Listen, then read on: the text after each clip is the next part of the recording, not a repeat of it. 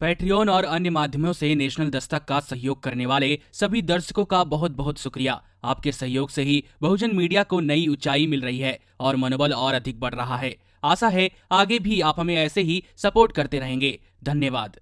15 जून को गलवान घाटी में भारत और चीन के सैनिकों के बीच हुए झड़प में 20 भारतीय जवान शहादत को प्राप्त हो गए। विपक्षी पार्टियों ने इस घटना को लेकर सरकार से तीखे सवाल किए। कांग्रेस नेता राहुल गांधी ने पूछा कि हमारे सैनिकों को सीमा पर किसने निहत्ता भेजा?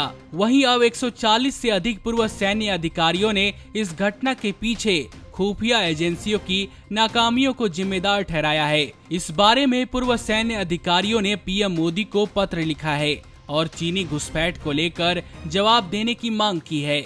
इस पत्र में खास तौर पर प्रधानमंत्री मोदी के उस बयान का ज़िक्र किया गया है जिसमें उन्होंने भारतीय सीमा में किसी भी घुसपैठ की बात से इनकार किया था। गलवान घाटी में चल रहे तनाव को लेकर पीएम मोदी ने देश की जनता को संबोधित करते हुए कहा था कि हमारी सीमाएँ सुरक्षित हैं और कोई भी हमारे सीमा के करीब नहीं है। भारतीय सैनिकों ने भी चीनी सैनिकों के किसी भी पोस्ट पर कोई कब्जा नहीं किया है। पूर्व सैन्य अधिकारियों ने कहा कि पीएम के बयान का बीजिंग ने उल्लेख करते हुए पूरी गलवान घाटी पर अपना दावा पेश कर दिया था। हालाँकि बाद में प्राइम मिनिस्टर ऑफ़िस को पीएम मोदी के बयान के बारे में सफ़ाई देनी पड़ी। पीएमओ की तरफ़ से कहा गया कि पीएम का बयान गलवान घाटी में हुए झड़प के संदर्भ में दिया गया है। आपको बता दें कि प्रधानमंत्री मोदी के बयान पर देश के पूर्व प्रधानमंत्री मनमोहन सिंह ने भी आपत्ति जताई थी।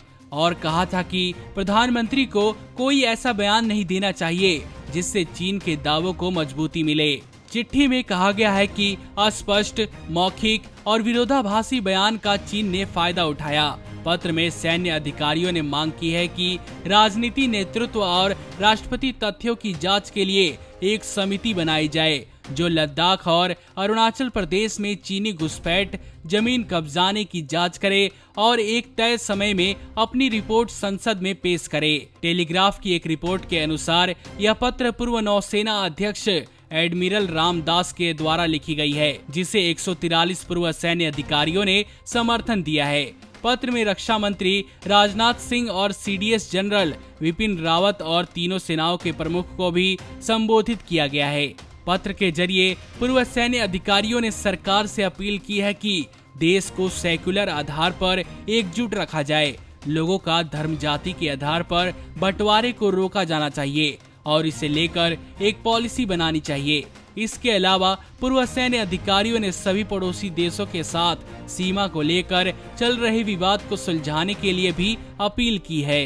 नमस्कार।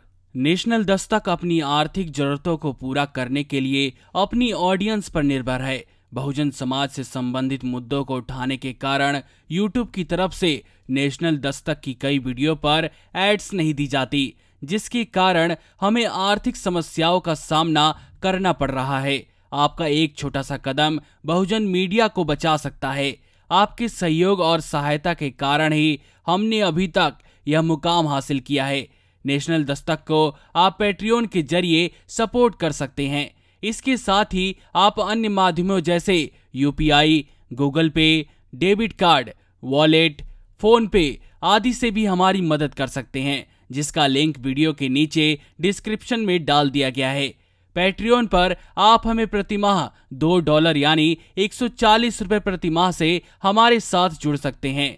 दूसरे माध्यमों में राशि की कोई सीमा नहीं है। आपके सहयोग से ही बहुजन मीडिया को एक नई दिशा मिली है और इसे अभी एक नए मुकाम तक लेकर जाना बाकी है, जो आपके साथ के बिना संभव नहीं है। आपसे डायरेक्ट फंडिंग से हम आपके अधीन हो जाएँगे और एक स्वतंत्र मीडिया के तौर पर समाज की आवाज़ को बुलंद कर पाएँगे।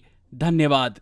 नेशनल दस्तक को देखने वालों से अपील है कि वह नेशनल दस्तक के सपोर्टर फॉर्म को भरें ताकि हम सीधे आपसे जुड़ सके। नेशनल दस्तक की आपसे गुजारिश है कि अगर इसको बचाना चाहते हैं तो नेशनल दस्तक को सब्सक्राइब करने के लिए रेड कलर के सब्सक्राइब बटन को दबाएँ, फिर बेल आइकन की घंटी दबाएँ। नेशनल दस्तक को बचाने के लिए बहुत ज़रूरी है कि हर खबर को शेयर करें, लाइक करें, कमेंट ज़रूर करें।